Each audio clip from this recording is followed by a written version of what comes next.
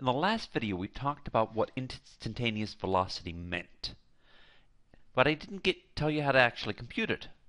I mean, I gave you a limit, but there would be no particular way to compute that limit. In this video, we're actually going to compute a limit. So here's the problem. We got a particle that's moving, and we have a formula for where it is at any given time. Its position is 4t squared plus 3, where we're measuring t in seconds and s in feet. So what's the velocity at t equals 2? Straightforward question. Let's figure it out. So here's a sketch of its position as a function of time. It's useful to draw a graph. Graphs don't replace everything, but they're useful. And what we need to do is we need to figure out what is the average velocity between time 2 and some other time t.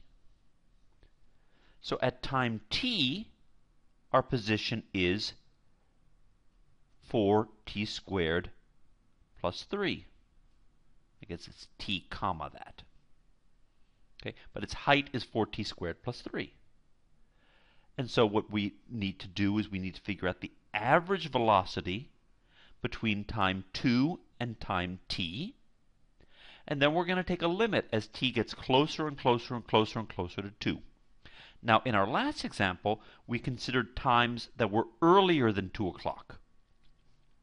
Here, we're just going to consider any old t. I drew it as if t, t is bigger than 2, but when we take a limit, we want to take a limit both as t approaches 2 from above and as t approaches 2 from below.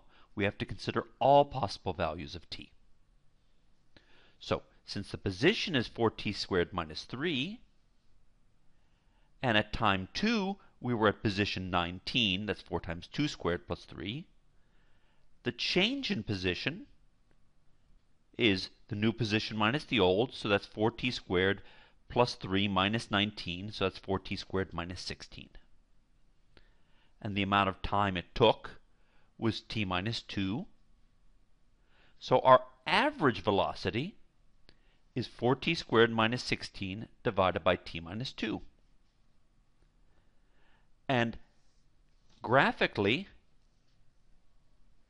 this is the slope of the line between those two points. This slope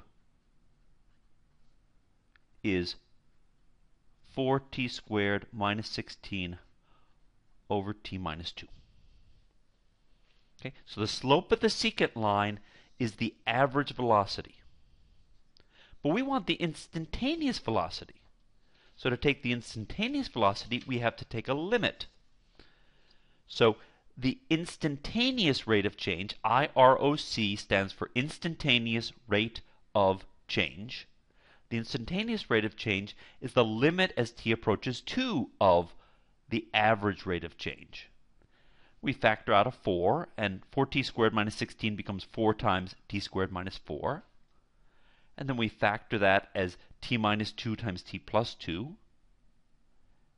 And you notice that you can't plug in t equals 2 or else you get 0 over 0.